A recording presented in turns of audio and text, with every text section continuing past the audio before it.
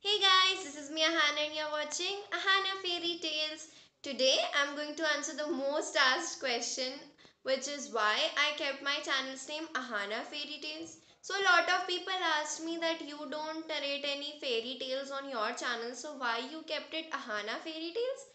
So let me explain you in a nutshell that you know fairy is believed to be magical. Fairy is believed to spread love. Fairy is believed to spread blessings and everyone loves fairy. I think so nobody is nobody exists in this world who doesn't love a fairy because fairy is magical fairy spreads love fairy spreads blessings and tales mean story. So here ahana fairy tales fairy tales. I am describing my life as a fairy tale.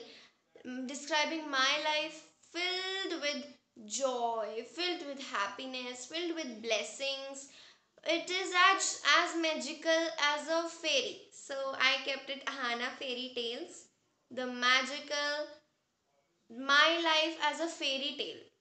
So I kept it Ahana Fairy Tales. So this is the most asked question on my channel and I think so you got the answer for this today why I kept it Ahana Fairy Tales just because I'm describing my life as a fairy tale and uh, full of blessings, joy, magical.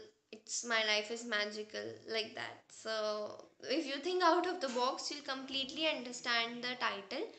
Thanks for watching and bye bye. Take care. And if you want like a book review, one more book review, you have to give a lot of likes and I will bring the most uh, popular book these days, which is Doglapan by Ashneer Grover.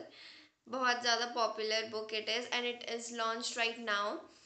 So I'll bring the review for it if I get a lot of likes. So bye bye. Take care.